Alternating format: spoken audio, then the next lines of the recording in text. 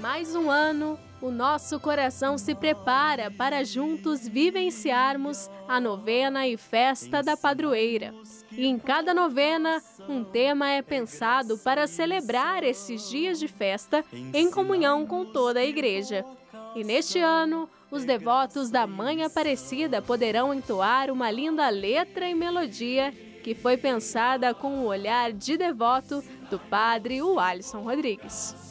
Olha, quando recebi o convite para compor o hino da festa da padroeira, foi de uma emoção muito grande, porque eu digo que uma das primeiras composições, os primeiros trabalhos, foi justamente dedicado a Nossa Senhora Aparecida. Quando o irmão Alain chamou para compor o hino, até dizia: uma das realidades que a gente não pode fugir é a devoção popular, a piedade popular.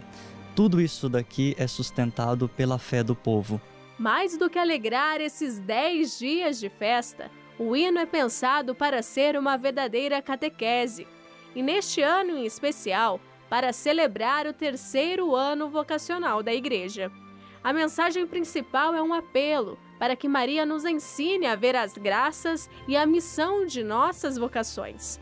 E cada estrofe contemplará a temática de cada noite da novena.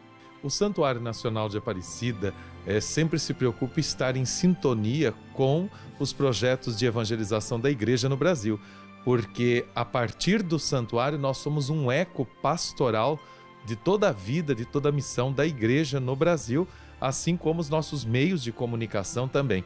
E uma marca, um aspecto forte deste ano é o terceiro ano vocacional da igreja no Brasil, com um tema muito bonito, é, inspirado naquela passagem dos discípulos de Emaús: corações ardentes, pés a caminho e, e, assim a temática então, vocação, graça e missão, num grande objetivo de que cada pessoa sinta-se chamada para uma missão. Vocação é graça, é convite do Senhor e nós nos dispomos a fazer essa caminhada. O hino vai ensinar que a vocação não é apenas você rezar para a vocação. A vocação é uma graça que vem pelo exemplo da família, pelo exemplo das pessoas, pelo entusiasmo nosso, de nós religiosos também, dos sacerdotes, de todos os cristãos. E é graça e missão, porque ela não tem só uma graça para você, ela tem uma missão, ela tem um valor que precisa ser passado.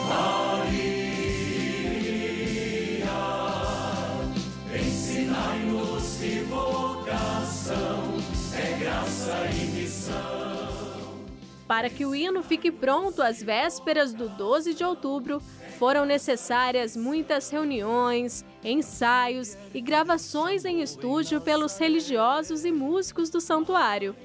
Fase essa que podemos acompanhar de pertinho e saber como está o coração dos colaboradores que mais uma vez darão voz e emoção à festa da padroeira do Brasil. O hino da novena e festa da padroeira é sempre algo muito esperado por todos nós, né? Os cantores dos santuários, religiosos, religiosas sempre participam na gravação. Então, mais uma vez, estamos aqui reunidos para é, elaborar todos os arranjos né, de voz, é, o sapo né, na direção musical.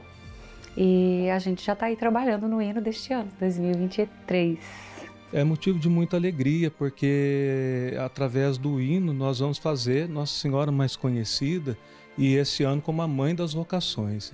Então, a novena bastante vocacional, pedindo e rezando pelas vocações. Eu digo sempre que a música no Santuário de Aparecida já é um grande milagre que acontece, porque pessoas do norte, do sul, leste, oeste vêm e se encontram e ali formam o coral dos Romeiros. Eu acho que o mais bonito da novena está na participação dos devotos, porque com eles a novena se torna mais popular e também a sua participação é mais carregada de emoção e de fé. É uma alegria muito grande, um orgulho muito grande como músico participar, já que o santuário é uma, uma casa tão maravilhosa, conhecida no Brasil todo, tão querida, né? A Mãe Aparecida, tão querida por todo o Brasil.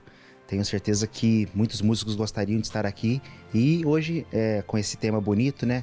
Sobre as vocações, um tema tão discutido na igreja nos dias atuais e com tanta necessidade, realmente fortalecer esse tema através dessa bonita festa de Nossa Senhora Aparecida. É o segundo ano que eu já participo do hino, né? O ano passado também cantei junto com, com os meus amigos organistas e a gente está o ano todo cantando no santuário, na casa da mãe, junto com os romeiros, né? Estar aqui gravando, então é uma satisfação, uma alegria muito grande. Mulher que Deus chamou em Nazaré. Maria, ouvi nossa voz. Queremos discernir o que Deus quer. Maria, ouvi nossa voz.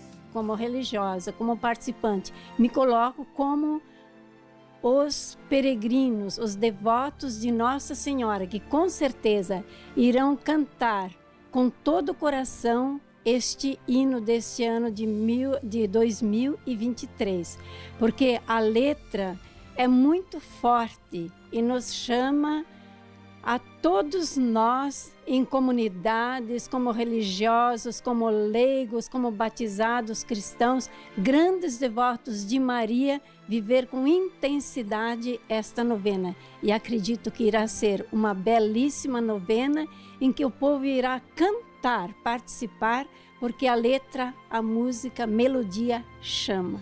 Para mim é um grande prazer, né? Porque eu já trabalho com, com o santuário acho que mais ou menos uns 30 anos, né? Então eu faço o hino da padroeira todo ano, acho que esse deve ser o 16 que eu faço. Então para mim é um prazer muito grande. Hino gravado e pronto. É hora de aguardar com o coração ansioso para que de 3 a 12 de outubro estejamos reunidos no Santuário Nacional e pela rede Aparecida de Comunicação, para entoar louvores à Mãe de Deus e Nossa Mãe a Senhora Aparecida.